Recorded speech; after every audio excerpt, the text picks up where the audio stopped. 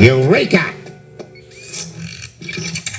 Ooh, nice eyelash. Yours? No, we need to find out who it belonged to. We want a DNA test. Ooh, ooh, ee, ooh, ooh. That takes uh, eight to ten weeks. Did I say weeks? Because I meant seconds. What do you got, the whole town DNA on file? Yeah, huh? If you've ever handled a penny, the government's got your DNA. Why do you think they keep 'em in circulation? Scan's finished. Now it's gonna narrow it down to the family bloodline.